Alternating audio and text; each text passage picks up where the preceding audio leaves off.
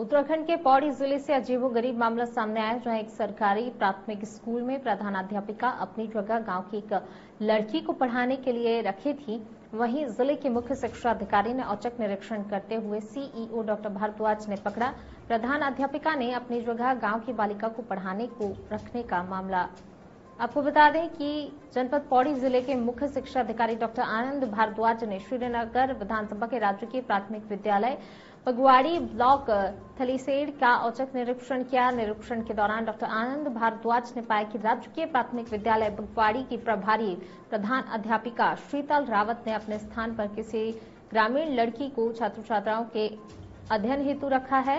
जिसका नाम मधु रावत बताया जा रहा है, जिसे प्रधान अध्यापिका शीतल रावत ने प्रतिमाह पच्चीस सौ रूपए मासिक दिए जाते हैं। उक्त प्रकरण की गंभीरता को देखते हुए मुख्य शिक्षा अधिकारी डॉक्टर आनंद भारद्वाज ने उप शिक्षा अधिकारी थलसेन को निर्देशित किया है कि वे उक्त प्रकरण की विस्तृत जाँच कर इस संबंध में प्रधान अध्यापिका शीतल रावत का स्पष्टीकरण करके उनके कार्यालय में उसकी आख्या उपलब्ध करवाएँ। शिक्षिका ने संतोषजनक स्पष्टीकरण प्राप्त होने तक प्रधान अध्यापिका शीतल रावत के वेतन पर रोक लगाने के आदेश मुख्य शिक्षा अधिकारी ने दिए हैं। पौड़ी से बलवंत सिंह की रिपोर्ट।